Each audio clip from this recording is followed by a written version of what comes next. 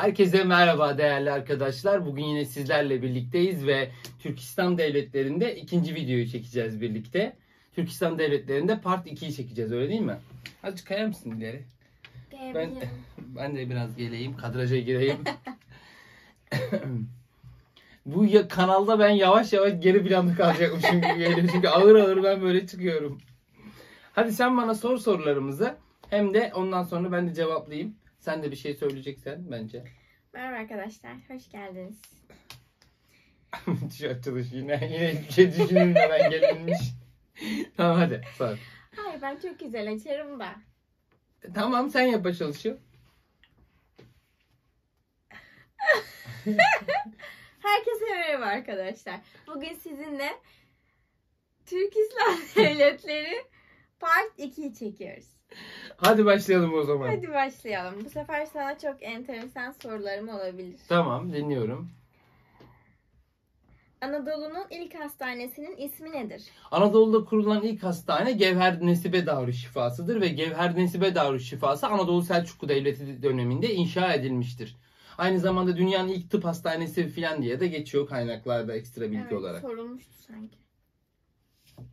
Gazneli Mahmut hangi bölgeye 17 sefer düzenleyerek İslamiyet'in yayılmasına vesile olmuş?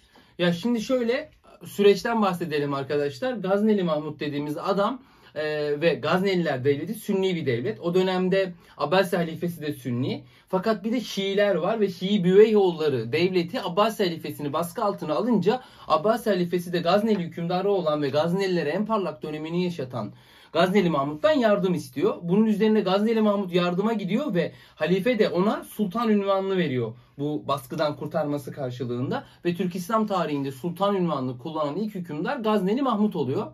Gazneli Mahmut da halifeye söz veriyor. Diyor ki yaşadığım her yıl İslamiyet'i yayacağım diyor. Bunun için Hindistan'a bir sefer düzenleyeceğim diyor. Ve bu sözünün üzerinden 17 yıl yaşıyor Gazneli Mahmut. Hindistan'a da 17 sefer düzenliyor. Hindistan'da kast sistemini yani o sınıf ayrımı sistemini kırarak orada İslamiyet'i yaymaya çalışıyor. Günümüzde İslamiyet'i yaydığı yerler günümüzün Pakistan'ı ya da Bangladeş'i olarak isimlendirilebilecek olan devletlerdir.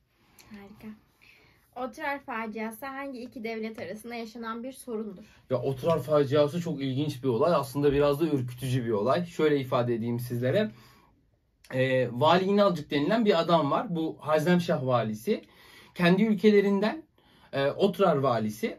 Otrar va- Otrar'ın olduğu şehirden Moğolların bir kervanı geçiyor. Fakat bu kervanı casuslukla suçluyor. Vali İnalcık dediğimiz adam ve Moğol kervanlarına el koyuyor. Bak bunu herkese yaparsın. Bunu herkes de yapabilirsin ama Moğollara bu yapılmaz. Haliyle Moğollar e, zaten ben Moğolların gaddar bir kavim olduğunu düşünüyorum. Moğollar da bunun üzerine intikam alma amaçlı olarak Harzemşahların Otrar şehrine saldırıyorlar. Ve bakın şehirde bırakın canlıyı, bırakın insanı canlı bırakmıyorlar. Yaşayan her şeyi öldürüyorlar ve bunun üzerine rivayete göre bütün ölülerin üzerine büyük bir platform kurup eğlence tertipliyorlar. Bu olaya da Otrar faciası adı veriliyor. Moğollarla Harzemşahlar arasında yapılmıştır veya gerçekleşmiştir. Ne kadar cani. Evet, canice olduğu söylenir. Anadolu'da para bastıran ilk Türk beyliğinin adı. Anadolu'da para bastıran ilk Türk beyliği aslında bunları artık Milli Eğitim Bakanlığı kitabı beylik demiyor, devlet olarak bunları isimlendiriyor. Malazgirt Savaşı'ndan sonra Anadolu'da ilk Türk beylikleri kuruluyor. Sultan Alparslan'ın komutanları tarafından. Bunlar Danışmentler, Saltuklular, Mengücekliler, Artuklular, Çaka Beyliği ve Dilmaçoğullarıdır. Ve burada ilk kurulan beylik Saltuklulardır. Bu önemli bir bilgi arkadaşlar. Bunun dışında bu beyliklerin yani 1. Beylikler döneminin en güçlü beyliği de Danışmentlerdir. Hem çok geniş sınırlara ulaşmıştır hem de Anadolu'da para bastıran ilk Türk beyliği, ilk Türk devleti olmuştur. Büyük Selçuklu hükümdarı Alparslan hangi kaleyi fethedince Ebul Feth ünvanını almıştır? Şimdi şöyle e, vezir Nizam-ı Mülk aslında bence bu olayın içerisinde biraz etkili. Tabi tarih deyince bencesi de giriyor illaki işin içerisinde yorum da giriyor. Yoksa ben orada değildim. Ama şöyle gerçekleşiyor zannımca. Tuğrul ve Çağrı kardeşlerden sonra Sultan Alparslan tahta geçince bu niye komik geliyor sana? Ne yapayım okudum kendi kafamda bir plan hazırladım bunu anlatmak için bu zamana kadar hep. O plan çerçevesinde anlatıyorum. Yo şey. Yani bu, bu soru cevaplar için değil de bu daha çok ders anlatımları için. Evet bu çok güzel. O değil. Benim aklıma şu geldi. Bir tane çizgi filmde e, eski bir traktör diyor ki anlatıyor anlatıyor anlatıyor anlatıyor. Diyor, hatırlasana sen de oradaydın diyor ama halbuki orada değil. Aşkım sen bana bunu daha Uyduruyor. önce arabada da anlatmıştın. Ben bunu anlamamıştım ve çok bilmemiştim Şey- bile. Şey şey kırmızı bir araba McQueen vardı. demiştin. Evet. Şimşek Ha, McQueen Şimşek demiştin. McQueen. Evet Şimşek McQueen'in Ama ben- yanındaki transit var ya arkadaşlar biliyorsunuz. Tamam neyse. Bu bana hala komik gelmiyor. Senin gülüşüne gülüyorum. Şimdi arkadaşlar Sultan Alparslan başa geçiyor Tuğrul ve Çağrı kardeşlerden sonraki süreçte fakat hep halka şunu söylüyor ya, ya da yanındakilere şunu söylüyor. Yani Tuğrul ve Çağrı kardeşler o kadar önemli işler yaptılar ki devleti resmi olarak kurdular. Nesa Seras Danlarakan savaşlarını kazandılar. 1055 yılında Tuğrul Bey gitti e, Bağdat seferini yaptı ve Halife-i Şiilerin baskısından kurtardı. Doğu'nun ve Batı'nın hükümdarı ünvanını aldı gibi gelişmeler var Alparslan'dan önce. E, haliyle Sultan Alparslan diyor ki yani kardeşim ben ne yaparsam yapayım bu adamlardan daha üst seviyede olamam diyor. Dolayısıyla ne halk ne ordu ne de devlet adamlarının gözünde layık bir seviyeye ulaşamayabilirim korkusu var Sultan Alparslan'da. Fakat burada Vezir Nizami Mülk onun imdadına yetişiyor. Vezir Nizami Mülk diyor ki Hristiyanlar için kutsal bir kenti var. Kars Ani Kalesi. Burayı alırsak diyor e, halkın, ordunun ya da devlet adamlarının gözünde sizin rütbeniz ya da e, sizin onarı oluşunuz artar diyor. Bunun üzerine Hristiyanlar tarafından kutsal sayılan ve Tanrı tarafından korunduğuna inanılan Kars Ani Kalesi üzerine fete çıkıyor ve Kars Ani Kalesi'ni çok kısa süre içerisinde ele geçiriyor ve kendisine Ebul Feth yani fetihlerin babası ünvanı veriliyor. Bu şekilde. Türk tarihinde iktidar sistemini ilk kez uygulayan devletin adı. Aslında şöyle çeşitli kaynaklarda iktidar sistemi çeşitli zamanlarda uygulanmıştır şeklinde ifadeler var. Örneğin e, daha Türk İslam devletleri kurulmadan önce var olan İslam devleti e, içerisinde halifelerden biri olan Hazreti Ömer döneminde iktidar sistemi uygulanıyor. Fakat Türk devletleri içerisinde Karahanlılar döneminde uygulandığı yazılıyor kaynaklarda. Bir de Büyük Selçuklu Devleti'nde ilk kez askeri iktidar uygulanmıştır şeklinde bir ifade var. Bu da iktidar sisteminin uygulanabilir olduğu ama önemli olan asker de yetiştirmenin yani iktidar ordusu da kurmanın eee hakim olduğu iktidar sistemini uygulamaktır. Bu da Büyük Selçuklu Devleti'nde yer alıyor. Yani biraz böyle karışık bir cevap oldu ama süreç bu şekilde. Yani iktidar sistemi sadece Türk devletlerinde yer alan bir şey değil aslında. İslamiyetle birlikte Hazreti Ömer döneminde uygulanmış bir toprağı işleme sistemidir.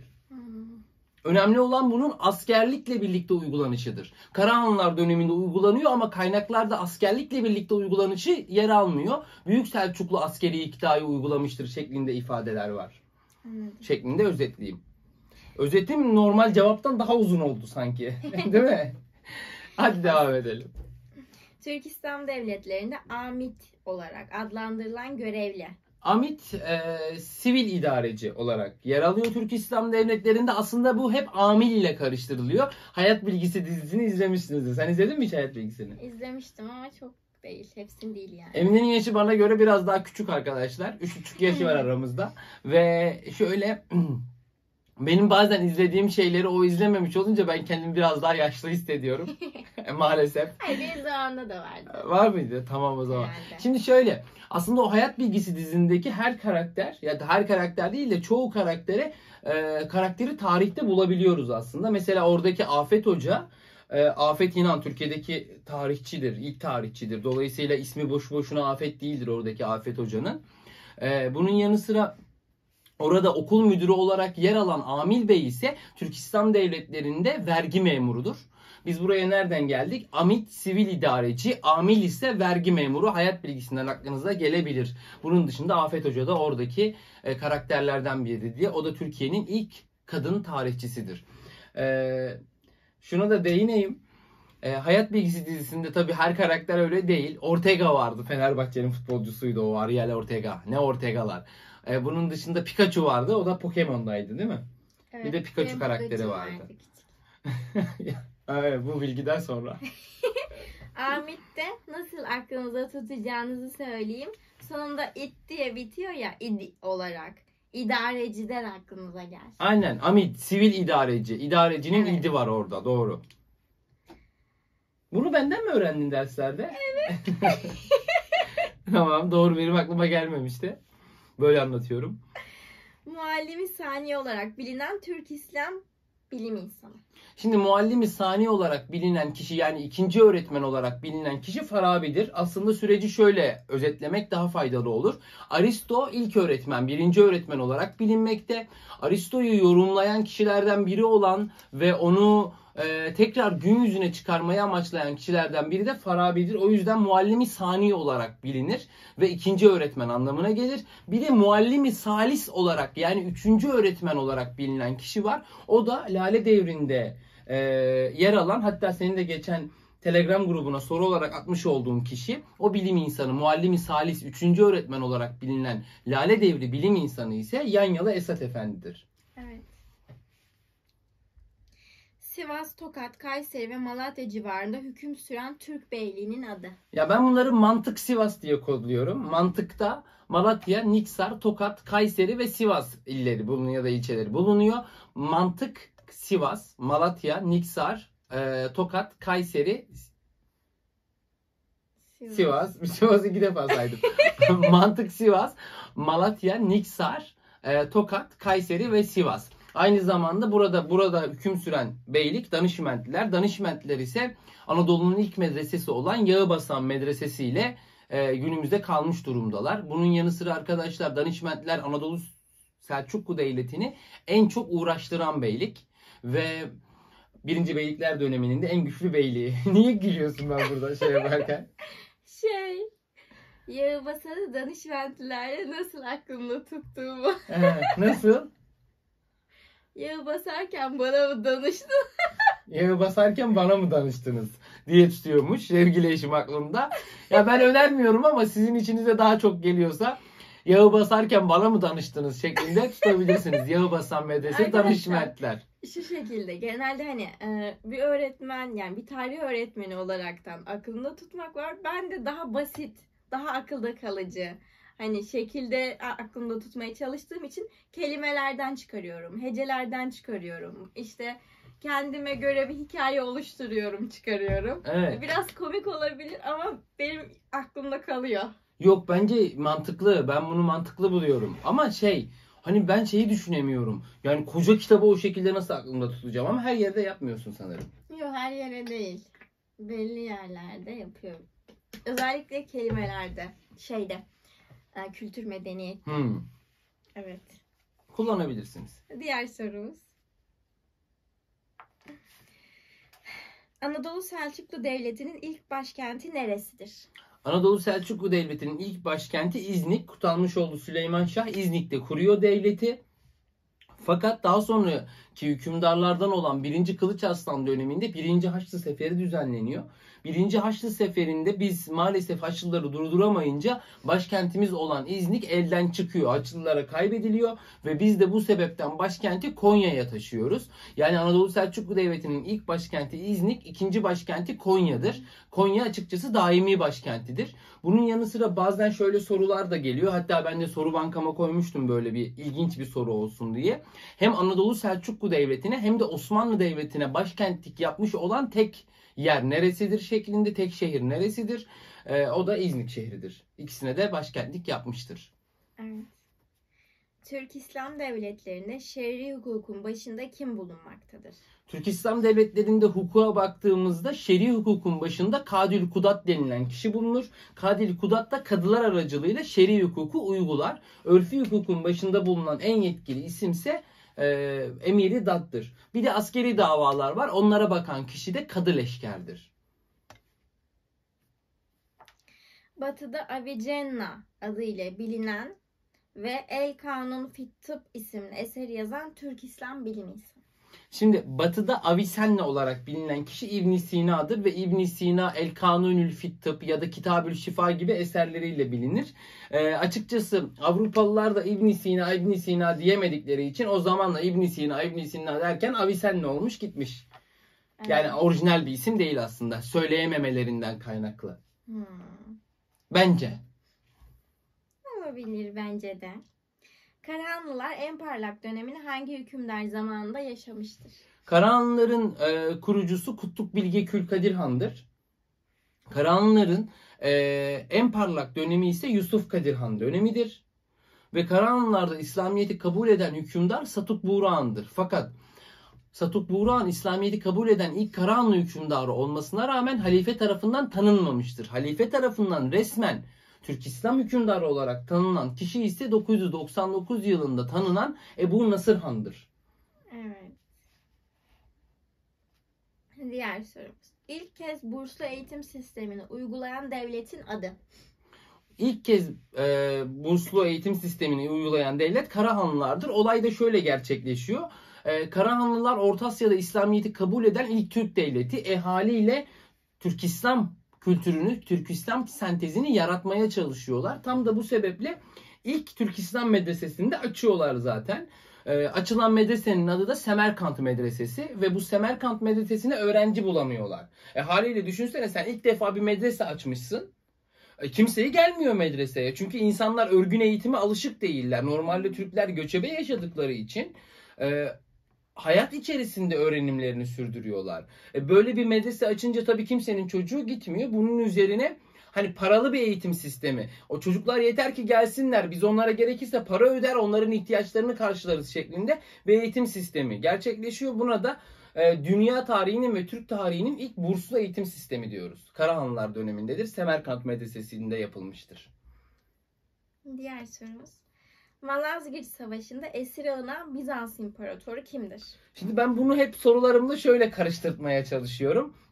1048 yılında yapılan Pasinler Savaşı var. 1048 yılında yapılan Pasinler Savaşı'nda Gürcü kralı Liparit esir alınıyor. 1071 yılında yapılan Malazgirt Savaşı'nda da Bizans imparatoru olan Roman Diyojen esir alınıyor. Hmm. Bu şekilde. İkisi karıştırılabilir diye ikisini söylüyorum. Ee, ben de karıştırılacağını düşündüğüm için sorularda hep bunları böyle çenç yapıp karıştırmaya çalışıyorum sizlere. Evet. Akşitler hangi devlet tarafından yıkılmışlardır? Akşitler nerede o soru? İşidilermiş. Nerede o soru? Bu kitaba bu soruyu da koymuşuz. Akşitler aynı değil mi? Evet. İşidiler Ya ile yanlış sordum sandım. İşidiler ve Akşitler aynı da şöyle süreci anlatayım size. Mısır'da kurulan Türk İslam devletleri dediğimizde TM diye bir kodlama yapıyoruz. Bu TM kodlamasında Tolunoğulları, İşidiler, Eyyubiler ve Memlükler var. Tolunoğulları bir tevavifi mülük devletidir. Yani Abbasi devletinin zayıflamasıyla ortaya çıkmış bir devlettir. Daha sonra Tolunoğulları yıkılınca Abbasi tarafından Akşit devleti kuruluyor. Ve Akşit devleti Fatimiler tarafından yıkılıyor. Fatimiler ise Şii bir devlettir. Ee, Fatimiler Akko, e, İşit, İşidiler devletini yıkınca daha sonra Fatimiler hüküm sürüyor bir süre. Mısır'da Eyyubiler de onlara son veriyor. Yani şöyle TM diye kodluyoruz ya Tolunoğulları İşidiler, e, Eyyubiler ve Memlükler şeklinde Tolunoğulları var. Sonra İşidiler var. İşidilerden sonra bir Fatimi devleti var aslında bu arada. Fakat Fatimi devleti Türk devleti olmadığı için biz onu anlatmıyoruz genelde. El Eser Üniversitesi, El Eser Kütüphanesi gibi eserleri vardır onların ve Şii kökenli bir devlettir. Eyyubi devleti tarafından, Selahaddin Eyyubi tarafından da son verilmişlerdir. Cengiz yasasını oluşturan devletin ismi nedir? Cengiz yasasını oluşturan devletin ismi Moğol İmparatorluğu'dur ve Timuçin tarafından kurulmuştur Moğol İmparatorluğu.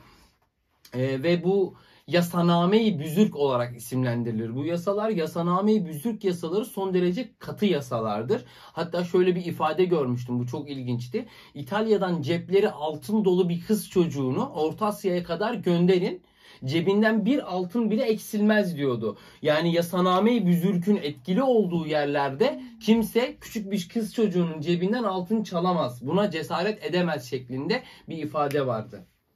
Son derece ilginç bir ifade olarak gelmişti Evet. bana. Keşke sen de şaşırsaydın sevgili eşim. Çok şaşırdım. Arkadaşlar şöyle ben bazen böyle ilginç şeyler görüyorum. ilginç şeyler e, okuyorum. Bunları okuduğumda bana çok ilginç geliyor. Yani az önceki bilgi gibi mesela. Ee, bunları böyle paylaşıyorum. Paylaştığımda şaşırılmayınca çok büyük hayal kırıklığına Hayır uğruyorum. ben de şaşırdım. Şaşırdın mı? Tamam. Evet. Teşekkür ederim. Rica ederim canım benim. Türkleşmeyen ve İslamlaşmayan tek Moğol devletinin adı. Şimdi şöyle bunu açıklığa kavuşturalım bence. Moğol İmparatorluğu parçalanıyor arkadaşlar. Moğol İmparatorluğu Timuçin'in yani Cengiz Han'ın ölümünün ardından Ögeday liderliğinde bir süre yaşası da daha sonradan parçalanıyor ve Moğol İmparatorluğu'nun parçalanmasıyla Altın Orda Devleti, İlhanlı Devleti, Çağatay Hanlığı ve Kubilay Hanlığı ortaya çıkıyor. Bunlar içerisinde Türkleşmeyen ve İslamlaşmayan sadece Kubilay Hanlığı'dır. Çünkü o Çin'de yer alıyor ve zamanla Çinlileşip gidiyor. Zaten dünyaca ünlü seyyah olan Marco Polo da Kubilay Hanlığı içerisinde yaşıyor. Evet. Bitti mi? Şöyle. Evet o cevap öyle olsun. Orada sıkıntı yok. Tamam.